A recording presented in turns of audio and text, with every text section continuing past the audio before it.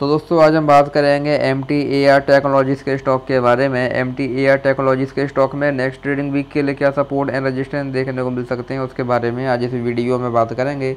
हम अगर यहाँ पर स्टॉक की बात करें तो हम देखेंगे जो ये स्टॉक है, ये हमको पिछले एक लंबे समय से यहाँ पर लगातार के लिए डाउन ट्रेंड में देखने को मिल रहा है। हमको यहाँ पर स्टॉक में लगातार लोअर लो लोअर हाई वाला पैटर्न यहाँ पर देखने को मिल रहा है। और जो स्टॉक है वो यहाँ पर लगातार अपने इस ट्रेंड लाइन को फॉलो करते हुए नीचे आ रहा है। स्टॉक ने मल्टीपल टाइम्स यहाँ पर रजिस्टेंस लिया, जिसके बाद हमको स्टॉक में गिरावट देखने को मिली है।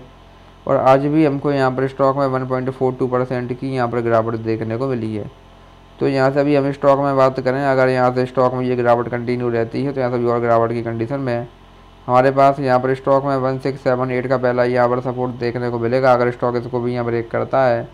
देन यहाँ से हमको स्टॉक में वन फाइव नाइन सिक्स और अगर स्टॉक ने इसको भी यहाँ ब्रेक किया देन यहाँ से हमको स्टॉक में आगे एक बड़ी गिरावट, एक हैवी सेलिंग यहाँ पर देखने मिल सकती है। इसके बाद हमको यहाँ पर स्टॉक है वन फोर सेवन फाइव और वन थ्री फाइव वन तक के लेवल्स भी यहाँ पर देखने को मिल सकते हैं। ऐसे नेक्स्ट यहाँ पर सपोर्ट वही यहाँ से अब अगर स्टॉक में रिकवरी आती है तो यहाँ से रिकवरी की कंडीशन में हमारे पास यहाँ पर स्टॉक में एटीन हंड्रेड का पहला यहाँ पर रजिस्टेंस देखने को मिलेगा। अगर स्टॉक इसको भी यहाँ ब्रेक करता है देन यहाँ से हमको स्टॉक में टू ज़ीरो सिक्स सिक्स और अगर स्टॉक ने इसको भी यहाँ ब्रेक किया देन यहाँ से हमको स्टॉक में अगेन एक बड़ी तेज़ी, बड़ी बाइंग यहाँ पर देखने मिल सकती है। इसके बाद हमको यहाँ पर स्टॉक में two two six eight then यहाँ से हमको स्टॉक में टू थ्री सिक्स थ्री और अगर स्टॉक इसको भी यहाँ ब्रेक करता है देन यहाँ से हमको स्टॉक में ट्वेंटी सिक्स हंड्रेड और ट्वेंटी एट हंड्रेड तक के लेवल्स भी यहाँ पर देखने को मिल सकते हैं। तो ये स्टॉक में कुछ इंपॉर्टेंट लेवल्स हैं, आप इन पर ध्यान दे सकते हैं।